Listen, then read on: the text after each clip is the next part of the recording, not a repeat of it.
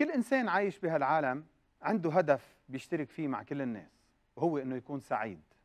فبتلاقيه بيحاول بكل الوسائل يحصل على السعادة ولكن للأسف الناس كلهم بالآخر بيوصلوا لحيط مسدود وبيكتشفوا إنه اللي عم بيحاولوا يلاقوه بالسعادة أو اللي عم بيحاولوا يلاقوا السعادة فيه مش عم يشبعهم. فبيرجعوا يكملوا بحثهم عن السعادة من جديد لحد ما يوصلوا لنتيجة إنه السعادة هي مثل السراب. بيشوفوا التايه العطشان بالصحراء وبيفتكر إنه مستنقع مي رح يروي له عطشه وأول ما يوصل لحده بلاقيه مجرد سراب وبيرجع يركض وراه من جديد.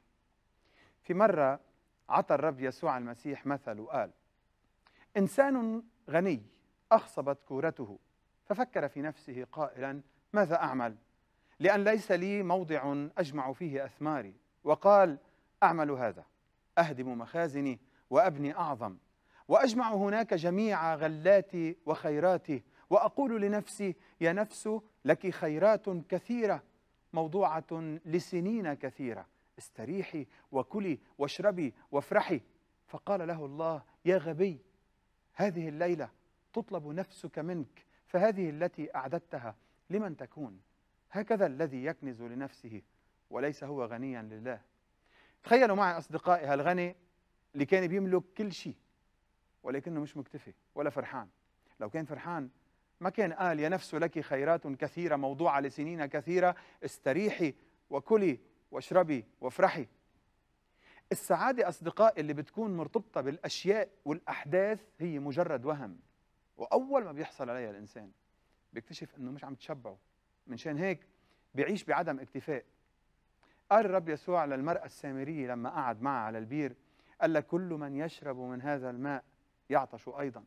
ولكن من يشرب من الماء الذي أعطيه أنا فلن يعطش إلى الأبد بل الماء الذي أعطيه يصير فيه ينبوع ماء ينبع إلى حياة أبدية.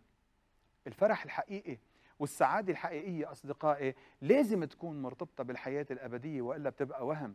وهذا الشيء أكده الكتاب المقدس بسفر الجامعة لما قال سليمان الحكيم فأي منفعة لمن يتعب مما يتعب به.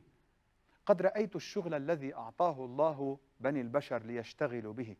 صنع الكل حسنا في وقته وأيضا جعل الأبدية في قلبهم التي بلاها لا يدرك الإنسان العمل الذي يعمله الله من البداية إلى النهاية.